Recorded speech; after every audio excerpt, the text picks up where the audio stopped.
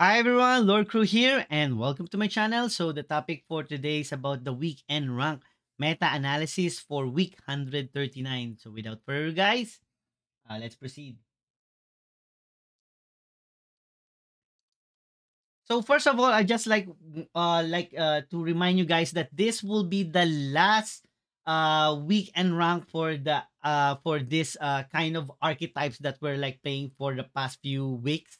And because uh to starting tomorrow there will be a new set of expansion from the Garden Exchange and they call it the Mortal Judgment. And based on the PTR, uh based on my uh, PTR uh experience or if you watch my PTR uh, YouTube video for the Mortal Judgment, you will notice that there are like multiple variation of new uh, uh, archetype that might dominate the new weekend rank. So technically, this will be the last day of this one. And as you and still, if you notice, Aggro Light is still the most dominant and most popular archetype or gods here. And uh, this might all change on the next weekend rank. Usually, I do this uh, YouTube video uh, for players that uh, uh, give uh, like a given highlight what happening on the last weekend rank and give an insight that this might be still the archetype for the next weekend rank. But now, because I'm like telling you guys, because of the new expansion I release tomorrow, this all of this might change now. So net decking might change, and but it's better still to review uh, what and who knows. So uh, currently, Light is the most uh, dominant in all gods with the highest win rate and also the most popular. What special about Light is there are like literally 47.4% players or in terms of popularity means like half of the entire uh, Gods Unchained player use uh use light on their weekend rank is in half like almost 50% usually the highest before uh like I'm seeing is like uh like 25 to 30 percent uh either it's war or nature but light literally like over like uh, more than 30 percent. And that's what's like for me it's like insane. Means there's no other best deck here aside from light the rest are played because of like uh doing a favor or like flux farming or that's that's it.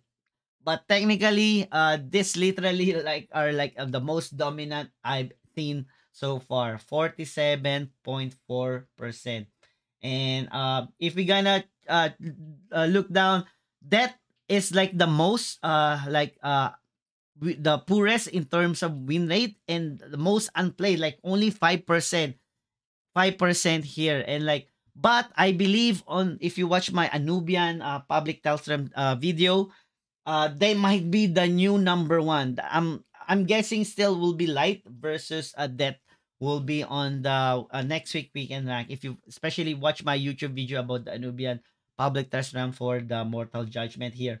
Uh, uh, currently they're like the bottom, and who knows they might be the new uh, archetype next week. And followed by like the most still bottom are like the War, which is even though they are like the third most played, uh, the most popular light followed by Nature, then War, and then Deception here. And as you can see, Deception is the fourth, but they have like a highest, a second to the highest win rate uh, beside Light. And the rest are like below 50% in win rate here. Now, if we check the archetype, uh, as you can notice, uh, Sleep has the highest total win rate, but they're only 2%. So means 2% in popularity means you might encounter one out of 25 in your weekend rank, or you might not encounter them at all in my last weekend rank, I played Aggro Light. I never seen a, I never uh face to face with any sleep deception. So it's still a low chance of uh uh for players to uh, able to uh encounter sleep deception. Anything for me, anything that is below three percent is like one out of twenty five or zero uh chances here. As, as you can see, Aggro Light is thirty four percent. This is insane. Okay, so if we uh, literally focus on light here, uh, 34%. There are like three archetype, aggro, mid-range, control. The difference between uh, uh, control light, if you have like seven casting cost card that has three or more, you're considered control light. If you have like two, at least two seven casting costs below, you are considered mid-range. Now, if you only have like one seven casting cost, technically you are considered aggro. That's how like uh, God's uh, Geo deck how to verify what archetype they are. So if you're like only have one Zealous March, then you're like aggro light. But if you have like dual Zealous of March, you're considered mid-range. And if you have like uh, uh, three seven casting costs and above, you're considered control here. And as you can see, uh, mid-range is second most, like 10%, like almost like 10%, but 34% for Aggro Light. So high chances are in out of your 25 game, half of it will be like high chance like half, half of it will be like a Aggro Light. Okay. So now if we focus on deception, which is the second highest win rate, uh, sleep deception, only 2%. The rest, uh, control and aggro have also have like a more than 50% win rate here. And that's, but they're like 1%, 1% means you may encounter them or not. I believe in my last week and in my game, I think I only uh, managed to fight one aggro deception uh, in my entire 25 game. The rest are like majority light followed by nature or something like that. That's my like if I, I if I summary all my entire 25 games, uh, I face I probably one magic, one deception, uh, one nature. I think I never encounter any war and any any uh, death, but the rest are like light, light here, like light versus light. So that's what happened on the weekend rank. Uh, followed by nature, uh, everything are below 50%. Sad part for the nature's uh, lover there. Uh, for the war, which which is like the uh, uh, third most popular, everything is below 50%. Also, only control war are like uh, uh 49%, but they're like 0.8%. Uh, I believe this is will, will be like zero chance for you to fight them. And then magic, uh uh, less than like literally less than 10%, 4.5 for the control magic, which is I encounter one, a ramp magic. And then uh like for the death here, uh board wipe deck, it's 1%. You may not encounter them or once. And the rest are the zombies. The zombies, even though they are 4.3%, they are like only 40. The lowest win rate on them all is the is the zombie one. Like the zombie uh zombie death here. So high chance all of this might change because of the mortal judgment. So if we're gonna do a net decking, uh as you can notice on the top 20, we are like total uh we have a total of like 11 light players will enter the top 20. So technically uh, more than 50% of the top 20 are are aggro light. Uh, followed by deception. So on the deception, there are like technically five sleep deception and one uh, order deception one war uh, using the mythic mythic card, one board wipe deck, and one nature, which is a mid range. So that that will be the uh like the overall archetype on the top 20. And on the and as you can see, the rank one is by the chosen mortal. Uh this will be like one out of 20 uh 25,000 chances for you to meet him in the weekend rank because he's the only player with this uh, mythic card, the Citadel of the Gods. And uh, I hope I manage. Uh, if high chance if you face him, you're like probably auto auto loss. Uh, because this is like more on like legendaries, and as you can see, uh, at the start of the game, move this card on the top of your deck. Each player summon three legendary champions, equip champion relic, and unlock all mana locks, both gods, game protect, and ward. So technically, he will draw majority of all the uh, the good uh, legendary here. So this is like an insane deck, but uh it's like one only player, the chosen mortal. So if you manage to face him, good for you. One one is in a lifetime GU experience of playing with him. Uh rank 2 aggro light uh the what i noticed about the aggro light they're playing like one zealous of march now and either they play dual player or one player with one uh with one Radiant of Dawn. And as you can see, this has been played 132 times. Uh, sleep deception variation where they have Demogorgon and Witterfinger. Uh, Jason and they're using Talia for a little bit end game. And but literally more on sleep, especially Thought Siphons and early card removal like sleep and like literally at the early round they will use the card removal and then later on the mid once it reaches seven casting costs they will do an AOE sleep using Demogorgon and Witterfinger. They can use even Elixir of Panther or even Elixir of Snakes to counter Zealous of March here. So technically, the number one counter supposed to be for the sleep deception are light because of the Radiant of Dawn, but uh, not all 34% or 40% players played Radiant of Dawn. They usually add one Radiant of Dawn. So you still have the deception still have a chance of winning versus in an aggro light here. Because like I mentioned, like here, as you can see on the current rank 2, there's no Radiant of Dawn on his build. Okay? uh that's that's that's it that's like main main difference why suddenly sleep deception are like supposed to be uh not favored to win but because not all of the players play Radiant of Dawn that's the main reason why because in the past uh since the introduction of the prayer uh people usually player play dual Radiant of Dawn but since the introduction of prayer of desperate they either replace it with uh, the Region of has been removed or just play one. So that's what's happening now. So this is another Aggro Light. Uh, it's been played a thousand times. He has one Radiant of Dawn, one Desperate player here. So at least you have like one card to counter a Sleep Deception and even also the board wipe deck. Uh, mid-range, uh, he's a Filipino player. I know he's literally known for playing only nature and he or he also like invested properly on the nature that's why he has underbrush and some of the uh like the nature uh nature legendaries here like famous legend uh, nature cards here like underbrush avatar of nature and even the selena champion okay uh another aggro light uh dual Radiant of dawn and dual prayer but no zealous of march this is literally an aggro uh, another sleep deception, another variation of sleep deception, probably removing Talia here, uh, but still almost the same with uh, sleeps and uh, uh, spell control spells. Another Aggro Light here, one Radiant of Dawn, one Prayer, one Zealous March.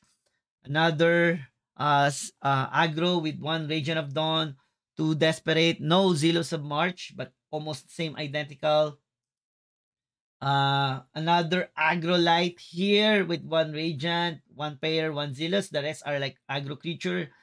Uh, using Bronze Servant instead of Iron Tooth. Probably a little bit of budget type. Uh, another Aggro Light. Uh, no Radiant of Dawn, but uh, one Desperate and one Zealous.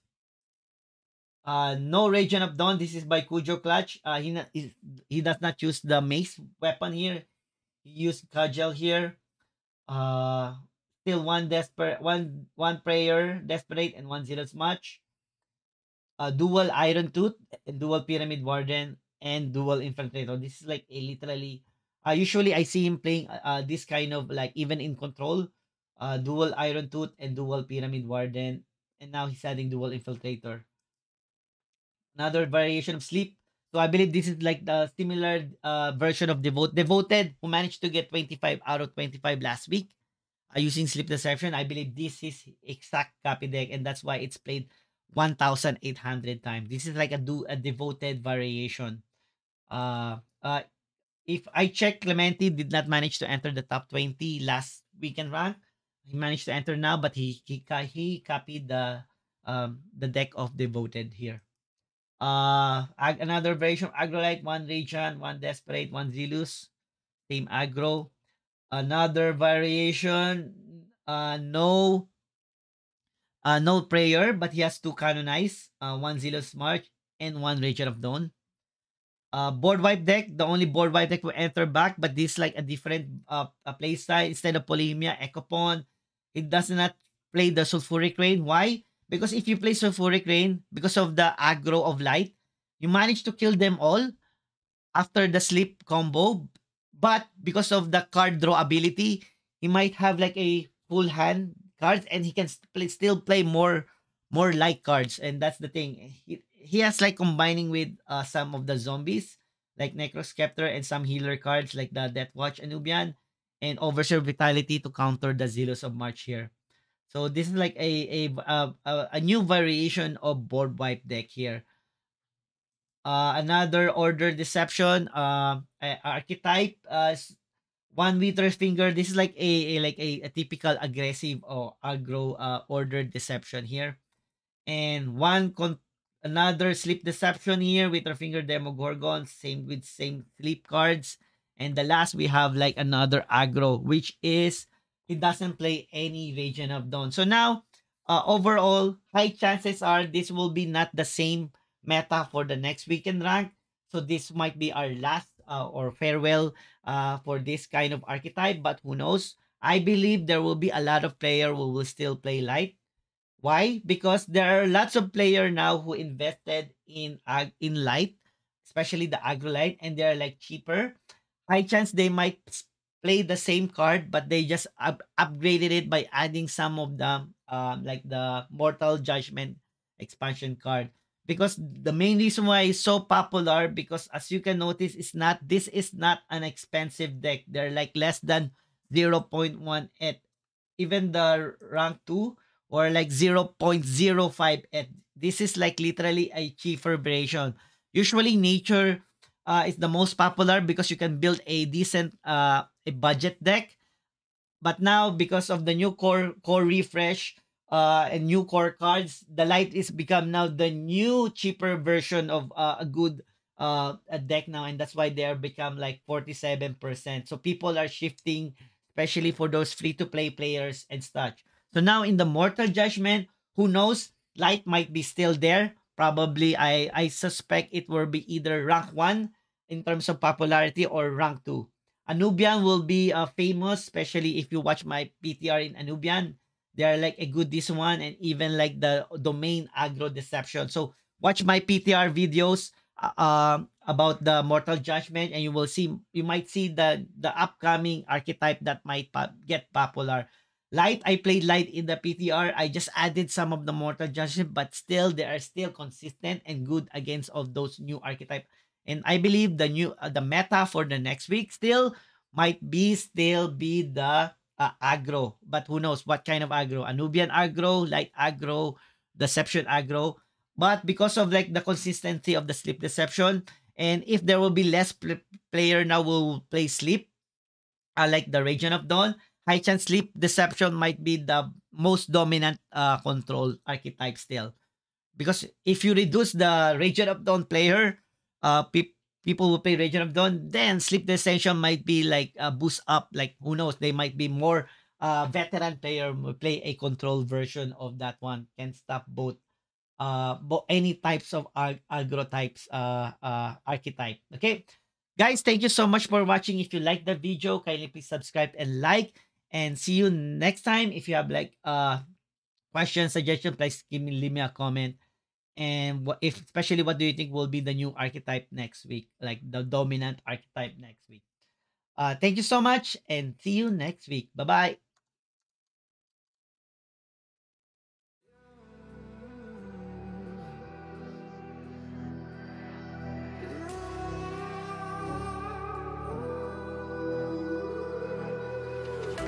There's a distance between